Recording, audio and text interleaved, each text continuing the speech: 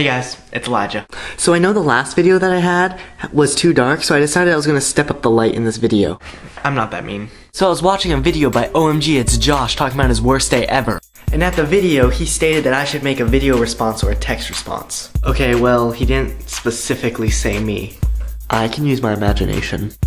Okay, now this guy's gonna think I'm a creep. So my worst day ever took place when I was 11 years old. Maybe I was 12. So I was riding my bike with my neighbor. And I enjoyed hanging out with my neighbor.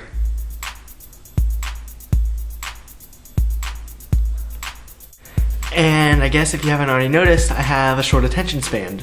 So my neighbor was like, hey, look at me. Big mistake.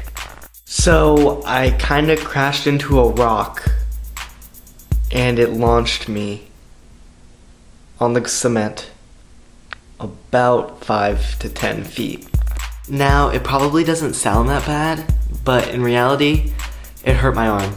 And yeah, but the worst part that I probably thought, I know it kind of sounds stupid, but my head hurt more than my arm. So I had a really bloody arm and I had a huge cut on my forehead and a lot of blood was coming out of it. But it was just this cut from my helmet.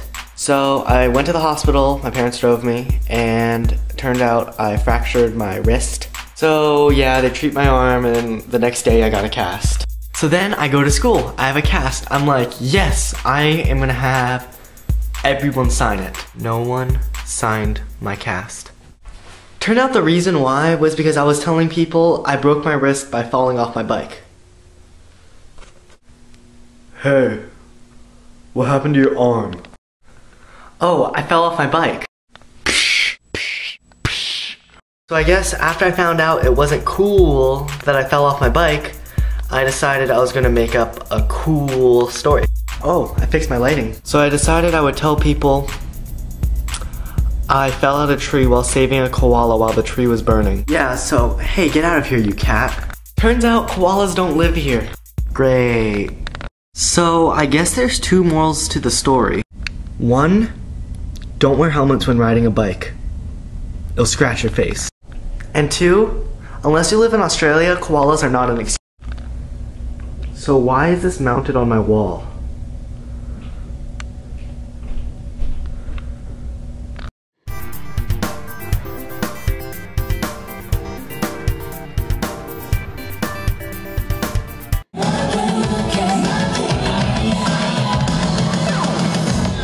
is it?